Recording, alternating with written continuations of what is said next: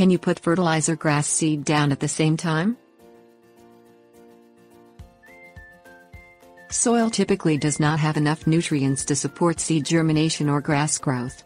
Apply the right fertilizer and work it into the soil just before planting grass seed to add nutrients to the soil and prevent burning up grass seed. Proper fertilizer application will help you achieve an even spread of grass growth.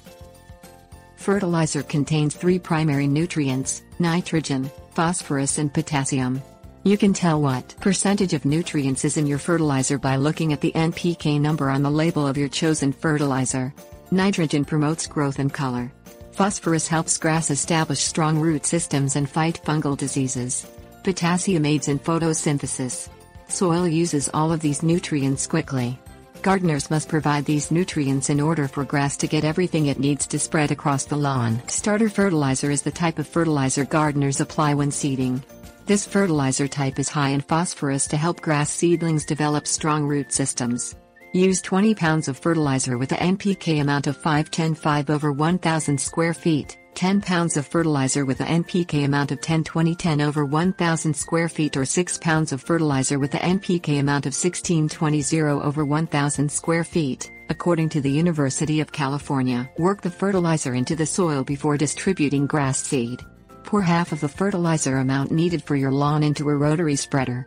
Push the spreader back and forth horizontally over the lawn. Apply the rest of the fertilizer needed vertically across the lawn to get an even spread. Till the fertilizer into the first 2 to 4 inches of topsoil.